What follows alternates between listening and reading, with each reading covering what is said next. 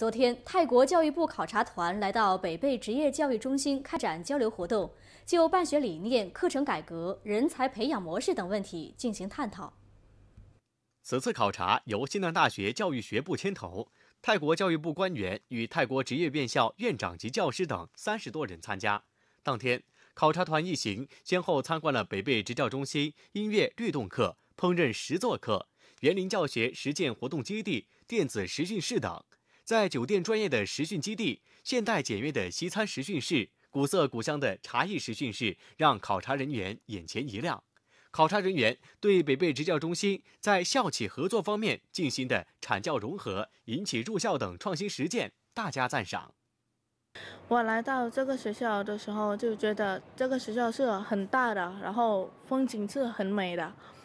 然后我觉得这个学校开班的课很多的。然后都是在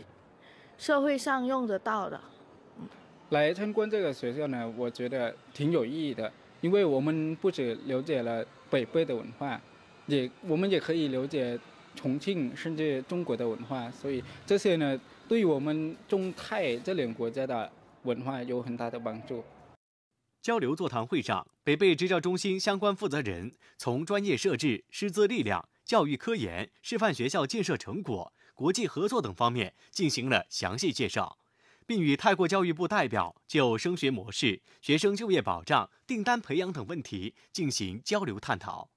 近年来，北碚职教中心始终把拓展交流合作作为示范学校建设的重要组成部分，开展形式多样的校际交流合作。此次泰国教育部考察团到访，将促进双方今后进一步深入开展多方面的交流合作，共同发展。